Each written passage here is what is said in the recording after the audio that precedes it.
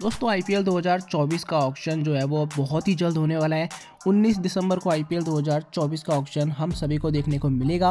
इस वीडियो के अंदर मैं आप सभी को बताऊँगा, वो प्लेयर जिन पे आरसीबी की टीम 100 परसेंट बिडिंग यानी कि बोली लगाने वाली है आईपीएल 2024 की नीलामी के अंदर। कौन ऐसे खिलाड़ी जिनको आरसीबी की टीम नीलामी में शामिल करेगी? किन पर आरसीबी की टीम ऑल आउट जा सकती है ऑक्शन में? सभी चीज़ें जानेंगे तो अगर आप लोग आरसीबी की टीम के फ़ैन हो और आईपीएल 2024 की रेगुलर अपडेट्स पाना चाहते हो तो आप लोग इस चैनल को सब्सक्राइब ज़रूर कीजिएगा। और अगर आपने अभी तक हमारे टेलीग्राम चैनल को ज्वाइन नहीं किया तो आप काफ़ी चीज़ें मिस कर रहे हो आईपीएल 2024 के ऑप्शन को लेकर। और आईपीएल को लेकर जो रूमर्स और न्यूज़ आती है, वो आपको सबसे पहले हमारे टेलीग्राम पर मिलती है। तो फटाफट जाकर टेलीग्राम को ज्वाइन कीजिएगा, लिंक आपको डिस्क्रिप्शन में मिल जाएगा।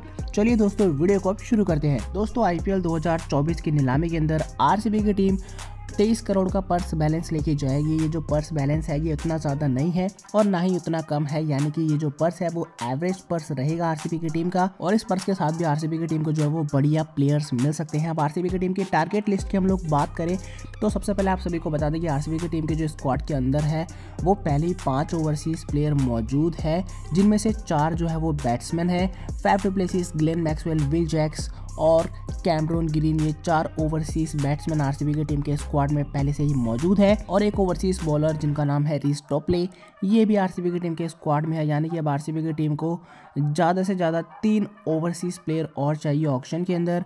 और ये तीन जो है वो हम सभी को बॉलर और ऑलराउंडर देखने को मिलेंगे। किसी भी बैट्समैन को आरसीबी की टीम मुश्किल से टारगेट करेगी, क्योंकि आपके पास पहले ही पाँच ओवरसीज बैट्समैन टीम के अंदर मौजूद है। तो चलिए दोस्तों, हम लोग अब बात करते हैं आरसीबी की टीम के कौन होने वाले हैं टारगेट आईपीएल 2024 की नीलामी के अंदर। तो सेट वन में जो प्लेयर आएँगे, यानी कि जिन पे सबसे पहले बोलियाँ लगेगी, शायद आरसीबी की टीम उनमें से किसी को भी टारगेट ना करे।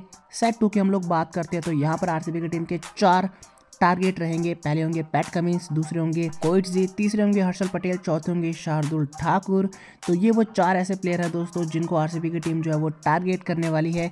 और यहाँ पर शायद हो सकता है कि आरसीबी की टीम इनमें से किसी एक गेंदबाज को टीम के अंदर शामिल भी कर दे। हालाँकि दोस्तों, आप सभी को भी पता है कि बाकी की नौ टीमें भी है, जो कि बिडिंग करने आई है ऑप्शन के अंदर तो ऑब्वियसली बात है, वो सारी टीमें इन प्लेयर्स पर बिडिंग करेगी।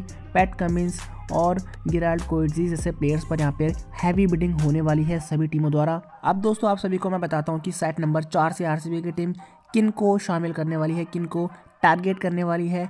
तो यहाँ पर पाँच ऐसे नाम है जो कि आरसीबी की टीम के टारगेट लिस्ट में है।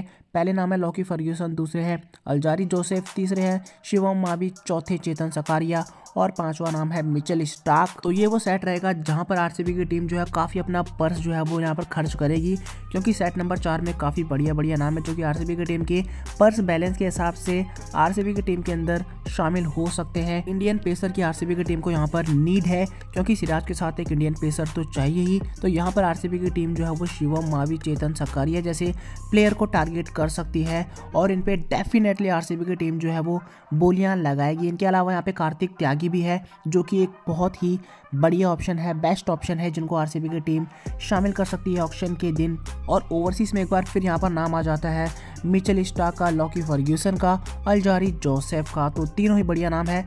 लॉकी फर्ग्यूसन का टी ट्वेंटी स्टैट्स उतना बढ़िया नहीं है तो यहाँ पर मिचल स्टाक और अलजारी जोसेफ आरसीबी की टीम की नज़र में ज़्यादा रहेंगे। तो ये वो सारे नाम है, ये वो मेन नाम है जो कि आरसीबी की टीम टारगेट करेगी और जिन पर आरसीबी की टीम जो है वो हंड्रेड परसेंट बोलियाँ लगाएगी आईपीएल 2024 के ऑक्शन में। अब दोस्तों ऑक्शन के दिन यहाँ पे डायनामिक्स जो है वो चेंज हो सकती है। काफ़ी सारी टीमें प्लानिंग बना के आती है अलग अलग और शायद यहाँ पर जो टीमें चाहती है वो नहीं होता है, बल्कि कुछ और ही हो जाता है ऑक्शन में। सब कुछ अनप्रडिक्टेबल होता है तो ऐसे में आपको शॉकिंग नाम भी आरसीबी की टीम के अंदर दिख सकते हैं। और जैसे आरसीबी की टीम की ऑक्शन की हिस्ट्री रही है तो आरसीबी की टीम से हम ये एक्सपेक्ट कर सकते हैं कि शॉकिंग नाम आरसीबी की टीम में इंक्लूड हो जाए। खैर दोस्तों, आप लोग अपनी ओपिनियन नीचे कमेंट बॉक्स में ज़रूर देना और साथ ही में आप लोग ऐसे ही आरसीबी की टीम के ऊपर और साथ ही में आईपीएल के ऊपर न्यूज़ और रूमर्स पाने के लिए हमारे टेलीग्राम चैनल को ज्वाइन कीजिएगा, जहाँ पर आपको सबसे पहले न्यूज़ मिलती है। ऑप्शन के दिन भी लाइव यहाँ पे आप लोग ऑप्शन देख सकते हो तो आप लोग फटाफट जाकर टेलीग्राम को ज्वाइन ज़रूर कीजिएगा।